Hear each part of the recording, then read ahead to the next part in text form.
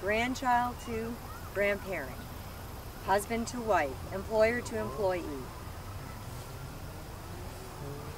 Truth for Today by Mrs. B. But when God wanted to reveal himself, he chose the relationship of father to children. Hi, Dad. How are you? I'm fine. How are you? Good. Old. Well, God chose to reveal himself in this type of relationship. And some fathers don't do a good mirroring job of what God is like. But what is the job of a father? A father's job is to provide. For many dads, they just think it's physical. If I go to work and provide and make food, get food on the table, provide shelter, I've done my job.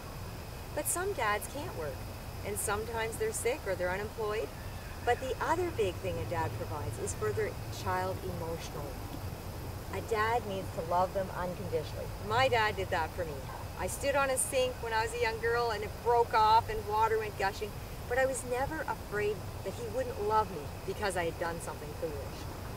Your Heavenly Father is like that too. He loves you no matter what. It's unconditional.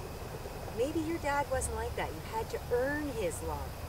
You had to try harder that he would love you. But God the Father is not like that. Not only does he provide love for us emotionally and unconditionally, he also accepts us completely. God the Father accepts us. My dad accepted me. I used to have great big ears that stuck out and they grew into my ears. But sometimes you don't accept yourself, but God accepts us. He made us. And once we know him as our Father, he accepts us completely through Jesus Christ and what he's done on the cross.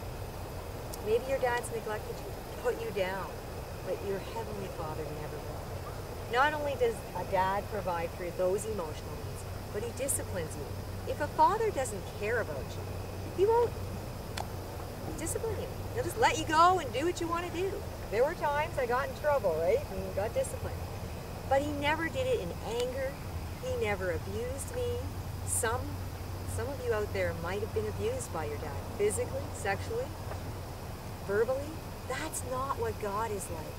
So if your father did not represent God to you the way he should, then put that aside and know that your Heavenly Father truly loves you unconditionally, accepts you completely, and will discipline you in